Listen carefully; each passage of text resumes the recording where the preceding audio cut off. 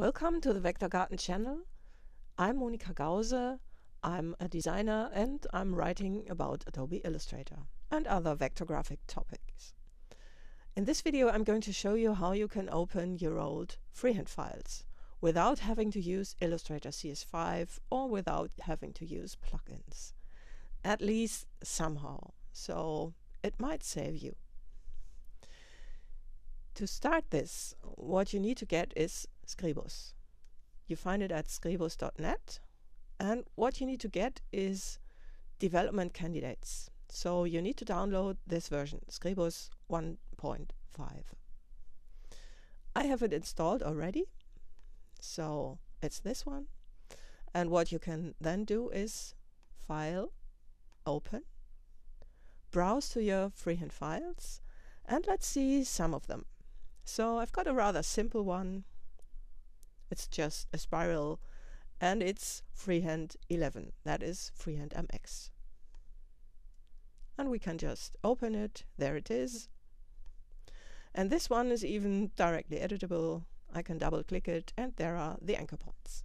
Now to get this into other vector software, you export it as a PDF. File export PDF. Simple as that. Let's close this one and take a look at another one. So another one is this one, which is a FreeHand.9 file. And let's open it as well. And there it is. That looks okay. That looks like the file I created. Again, file export as a PDF and then you open it in whatever software you want to use. Let's see another one. And we're getting more complicated files here. So this one is rather complicated. And you see there are some issues with it.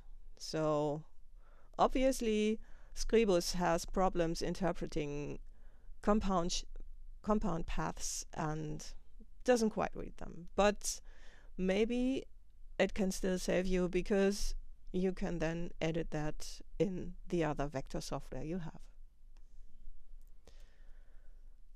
And then we've got this one. And there we see the file is empty because it's just too complicated. It's a lot of objects in here, so when you've got this kind of files, then maybe Scribus is not the right thing to do, and you need the Tensai plugin um, and install that in Illustrator, or get a copy of Illustrator CS5. So what Scribus can read is down to FreeHand 7. I've got the FreeHand 7 file, and you see it can open it.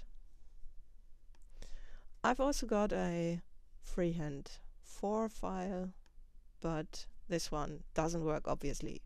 And that's quite normal because it was the same with Illustrator. It could open FreeHand 7 to FreeHand 11 or the previous versions could open FreeHand 4 to FreeHand 9. So there you have it, a quick tip on how to open your old FreeHand files and somehow not have to get other software to do that.